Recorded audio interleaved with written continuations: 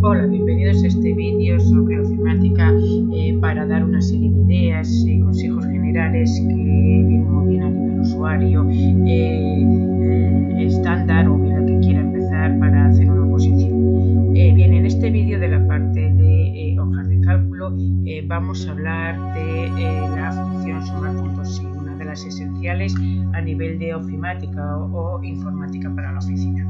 Bien, si hablamos del tema, su principal aplicación además es para el tema de las facturas, aunque tiene muchísimas más aplicaciones. Si hablamos de una factura, eh, pues obviamente el importe neto va a ser el precio por cantidad menos el descuento, como vemos aquí, y bueno, por la base imponible va a ser la suma de los importes netos.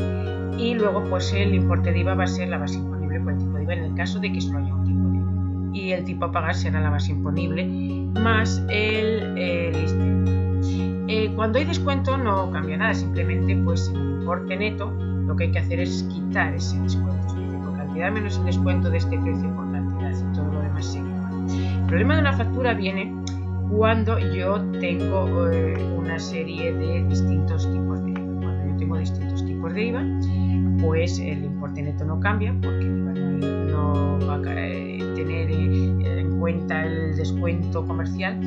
Eh, pero eh, bueno, pues a la hora de calcular el IVA yo tengo que ir sumando los distintos importes netos que corresponden a cada uno de los tipos de IVA.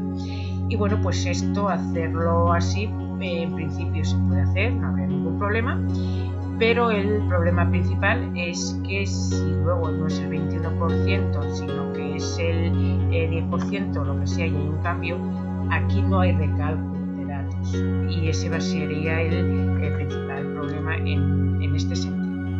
Eh, bueno, pues entonces es cuando realmente la función sumar.si tiene su sentido. Fijaros que, eh, bueno, lo que es el importe de IVA siempre va a ser más disponible por tipo de IVA. Se separan los tipos de IVA porque fiscalmente eh, a la hora de facturación, a la hora del importe de IVA, eh, Hacienda obliga a separar eh, la base imponible y tipo de IVA, IVA para cada base, para cada tipo imponible. Entonces, este es, digamos que es un momento que hay más de un tipo de IVA, iríamos a un modelo de factura de este tipo, aunque los modelos de factura no son obligatorios. Bien, aquí es cuando surge, por tanto, eh, y lo mismo pasaría si hay recargos de equivalencia, es decir, yo tendría que ir sumando uno por uno las bases imponibles de un lado y de otro. Pero bueno, pues aquí es cuando surge el tema de eh, pues la función sumar.si, que eh, una de sus aplicaciones importantes es esta. Bien, su sintaxis es sumar.si, rango de búsqueda, lo que se busque rango de suma. Eh, tanto el rango de búsqueda como el rango de suma puede ser el mismo o puede ser distinto como es en el caso de la factura. Bien, pues si lo aplicamos aquí a esta factura con distintos tipos de IVA y distintos recargos de equivalencia, pues eh, simplemente empezamos y lo que hacemos es eh, precio por cantidad, eso no cambia, menos el descuento del precio por la cantidad. Obviamente si no hay descuento no pasa nada porque lo que resta es cero, con lo cual no pasa absolutamente nada. Y cuando vayamos a los distintos tipos de, IVA, lo que aplicamos es esta función sumar.si. Ponemos aquí sumar.si y bueno, pues el rango de búsqueda yo quiero que lo busque donde están los tipos de IVA. Y eh, como voy a arrastrar hacia la derecha, voy a fijar la columna. ¿Qué es lo que tiene que buscar? Pues el tipo de IVA es el 21 porque quiero saber la base imponible que va al 21. Y si lo encuentra, ¿qué quiero que sume? Pues sume los importes netos que van a ese importe de IVA. Eh, lo fijamos en la columna porque voy a arrastrar eh, tres más. Obviamente esta fórmula me va a servir para los tipos de IVA, para el recargo de equivalencia. No me serviría puesto que, eh, bueno, pues digamos que el rango de búsqueda es distinto cual eh, de cara a que hacer el recargo de equivalencia no me quedaría más remedio que volver a poner la función sumar.si o bien arrastrar, pero tengo que cambiar para los recargos de equivalencia, tendría que cambiar. En cualquier caso, para aplicar bien la función sumar.si, en este caso rango de búsqueda es, eh, es aquí, lo que es el recargo de equivalencia. Y eh, vamos a arrastrar hacia la derecha con lo cual eh, fijamos la columna. Eh, lo que tenemos que buscar es este, ahí eso no cambia, y el rango de suma, ese sí que es exactamente el mismo, así que nos valdría exactamente el mismo.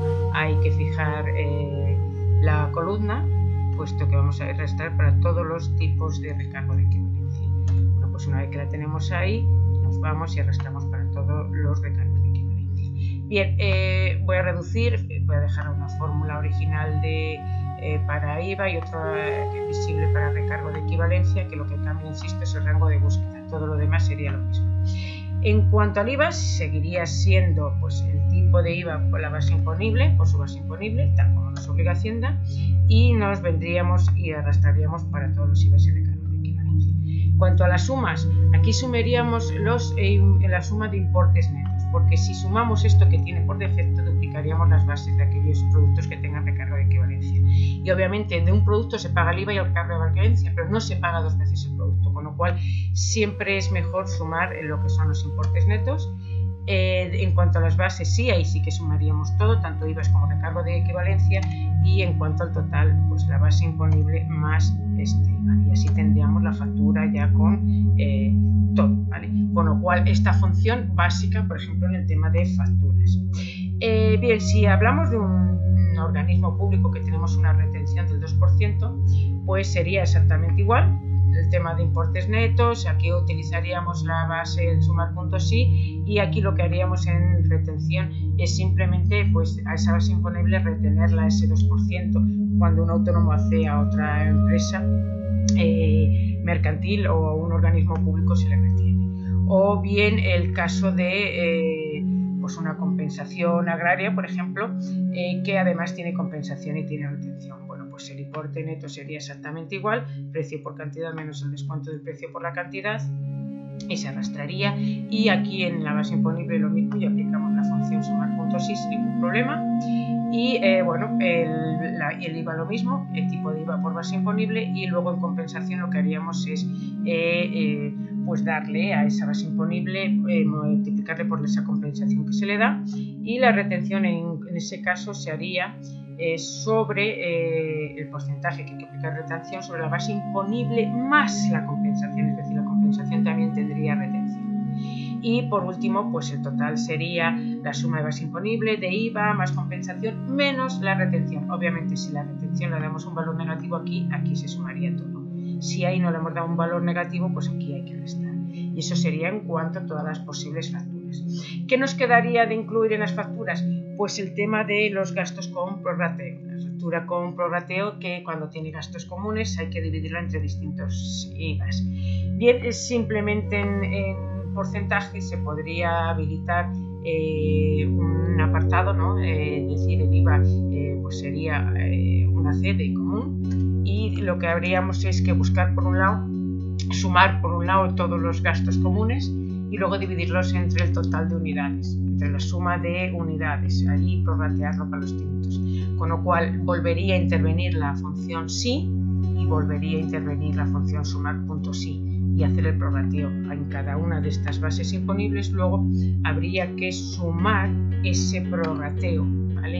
En el que intervendrían tanto la función eh, sí eh, como sumar.sí y así conseguiríamos ya una factura para todos los gastos eh, comunes y para cualquier situación con retenciones, compensaciones, etc. Bien, eh, espero que os haya gustado, nos vemos en el siguiente.